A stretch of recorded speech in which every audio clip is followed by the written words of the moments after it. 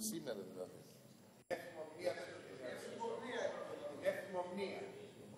Ναι, ναι, ναι, ναι, ναι.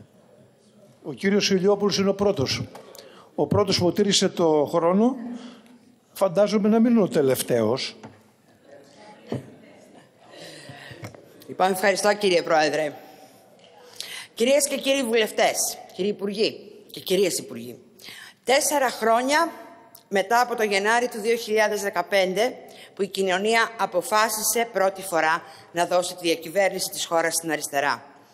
Τέσσερα χρόνια μετά, έχοντας περάσει από συμπληγάδες, αλλά με την κοινωνία όρθια, έρχεται σήμερα η κυβέρνηση στο Ελληνικό Κοινοβούλιο ζητώντας ψήφο εμπιστοσύνης. Πρόκειται για μια κοινοβουλευτική διαδικασία μεγάλης σημασίας. Αλλά είμαστε σίγουροι για το αποτέλεσμά της. Γιατί η κοινωνία έχει ήδη δώσει, μας έχει δώσει ήδη ψήφο εμπιστοσύνης. Γιατί εμείς δεν πορευτήκαμε ούτε μια στιγμή μακριά από την κοινωνία και το λαό. Πρώτος μας στόχος ήταν η έξοδος από τα μνημόνια.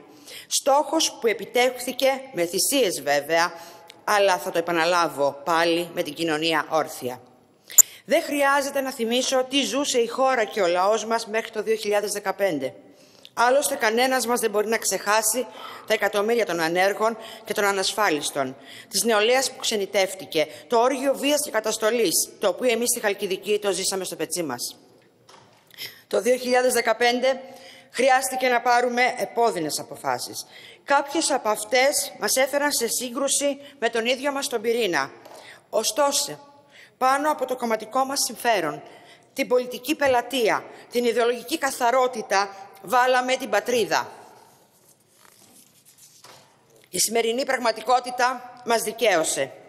Η Ελλάδα από τον Αύγουστο του 2018 είναι μια χώρα που κέρδισε πίσω την αξιοπρέπεια, το δικαίωμά της να χαράζει πολιτική και την αυτοπεποίθησή της. Και έχουμε πετύχει πολλά σε όλο αυτό το διάστημα, κυρίες και κύριοι συνάδελφοι. Επαναφέραμε το πολιτικό στην καρδιά της πολιτικής. Παραμένουμε μια πολιτική δύναμη που δεν διαπλέκεται. Δεν στηριζόμαστε σε τζάκια για να διατηρούμαστε στην εξουσία. Ενισχύουμε τη δημοκρατία και τους θεσμούς. Εμβαθύνουμε στα ανθρώπινα δικαιώματα. Και όλα αυτά, ενώ έχουμε δώσει μια τιτάνια μάχη ώστε να μειωθούν οι ανασφάλιστοι και να έχουν όλοι το δικαίωμα πρόσβαση στη δημόσια υγεία. Να επανέλθουν εργατικά δικαιώματα, τα είπε πριν πολύ αναλυτικά και πολύ καλά ο κύριος Ηλιόπουλος, και οι τα οποία οι προηγούμενες κυβερνήσεις είχαν θυσιάσει. Να αντιμετωπιστεί η ακραία φτώχεια. Να προχωρήσουν σημαντικά αναπτυξιακά έργα για τη χώρα, όπως το κτηματολόγιο και οι δασικοί χάρτες να προωθείτε μια αναπτυξιακή για τη χώρα πολιτική, η οποία όμως δεν, λέει, δεν λέει λατή τους φυσικούς της πόρους. Ακούμε όλες αυτές τις ημέρες τους πατριώτες με τις offshore, τους πατριώτες της διαπλοκής, τους πατριώτες της φοροδιαφυγής και της ρεμούλας να φωνάζουν για την πατρίδα. Αυτοί που λαιλάτισαν την πατρίδα κλαψουρίζουν τάχα για την προδοσία της. Εμείς, χωρίς κραυγές, όπως πάντα, χωρίς υπερβολές. Σταθήκαμε απέναντι στο μακεδονικό ζήτημα αφουγκραζόμενοι το κάλεσμα της ιστορίας και επιλέξαμε, αντί για τα φαντάσματα που επισύει η αξιωματική αντιπολίτευση, να κοιτάξουμε τα παιδιά μας και το μέλλον. Η Συμφωνία των Πρεσπών δεν κλείνει απλώς ιστορικές εκκρεμότητες, ούτε μόνο θεραπεύει πληγές. Αυτή η συμφωνία κοιτάζει προς το αύριο, κατοχυρώνοντας τα εθνικά μας δίκαια, υπηρετώντας τη συμφέροντα του λαού μας, σεβόμενοι ωστόσο και τον γειτονικό λαό. Σε μια περιοχή του κόσμου που χαρακτηριζόταν πάντα ως παροταποθήκη, η πατριδοκαπηλεία έσπερνε ανέμους και θέριζε θύελες. Εμείς επιλέξαμε το δρόμο της ειρήνης, της συνεργασίας, της συνύπαρξης, της προκοπής. Εσείς κύριοι, κυρίες και κύριοι της αντιπολίτευσης, επιλέγετε να επαναφέρετε το εμφυλιοπολιτικό κλίμα, ενισχύοντας αντιδημοκρατικές πρακτικές. Έμαθα χθες βράδυ ότι κάποιοι με επικήρυξαν και γέμισαν αφήσεις με το πρόσωπό μου στους τοίχους της Χαλκιδικής.